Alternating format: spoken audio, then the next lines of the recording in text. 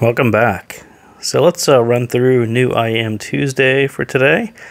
Um, this morning, the new BLON T3, which is uh, one of their budget models, uh, looks metallics like the BLON 03, a nice pink gold, and a black gold. So I don't know anything about it, but um, if you look on AK Audio Store today, it's $13.99. Uh, we'll talk about this discount. It's uh, going to be available for $12. Next, we've got um, for all of you TRI fans. I know there's a ton of you out there. The new TRI Starsea. This is the one you could barely see it, but there's dip switches on the back of it, and they switch between amazing bass, exquisite pure tone, balanced tuning, and beautiful vocals. So we'll have to see how that works out in the end. But um, for today, it's listed at $129. New on the store today um, is going to be available for $110 on promotion. Uh, another one that came out actually yesterday was the TRN V90S. Uh, if you look closely, it's actually a 5BA 1DD now. I think previously it was a 4BA, so they added a new BA there.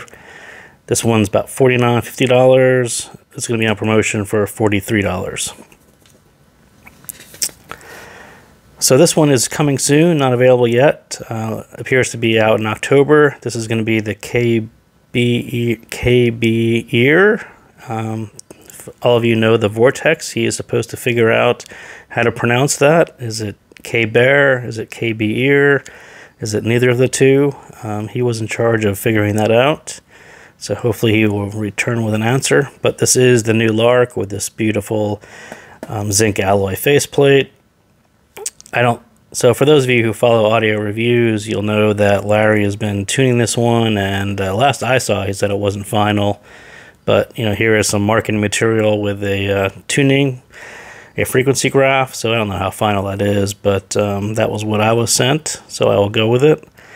Um, and here's the breakdown. You can actually see it's a it is a hybrid DDBA and uh, should be pretty fantastic when it's released. Soon to be released in October, I hope. So there you go. That's uh, today's deals, and I will actually talk about how to get these promotional prices.